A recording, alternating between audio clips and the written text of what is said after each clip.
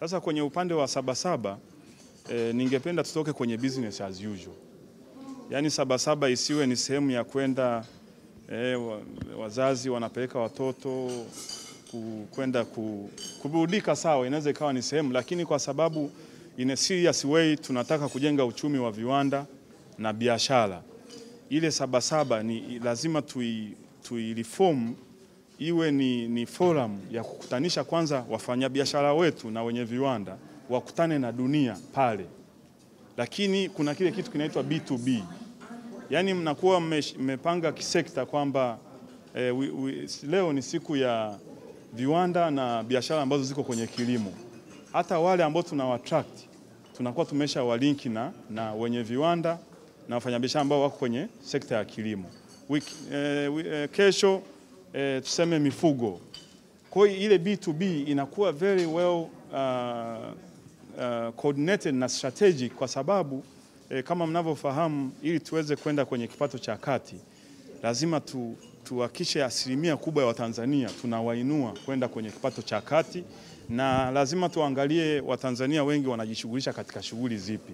Utang, utakuta ni mkulima, utakuta ni mfugaji na utakuta ni mfanyabiashara huyu mdogo mdogo.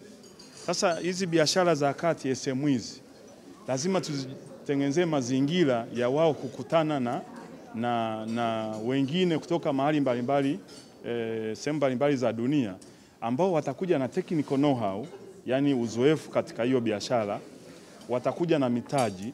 Sasa kwa sababu kampuni hizi za kati zinakuwa tayari zina, ni za Kitanzania hali e, hizi zina uwezo wa kuwa na access nayo e, uzoefu wa mazingira ya kufanya biashara hapa Tanzania wanakuwa nao, wakipata wenzao ambao wanakuja na mitaji na, na uzoefu ambao ni, ni, ni wa kimataifa wa biashara tunakuwa tumewasaidia kuwa linki kwa Sabasaba.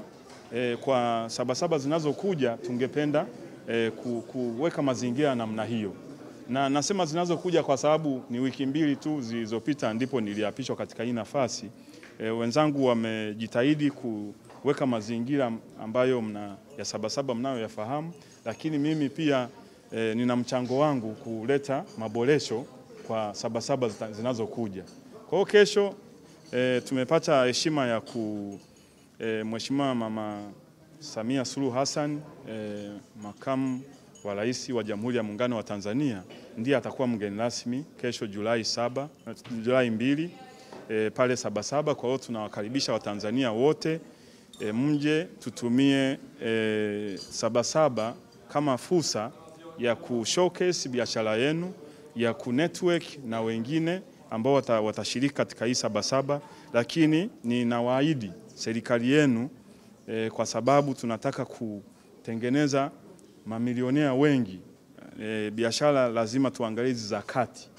E, tunazisaidiaje zikue ili tuweze kutengeneza e, the types wa kina mengi e, wengi wa Tanzania kwenye e, miaka ijayo. Kwa hiyo e, ni kupitia nyinyi waandishi wa habari basi tuwakaribishe Watanzania kesho, tuungane na mama yetu Mheshimiwa Mama Samia Suluhu Hassan katika kufanya uzinduzi wa Sabasaba ya mwaka 2019.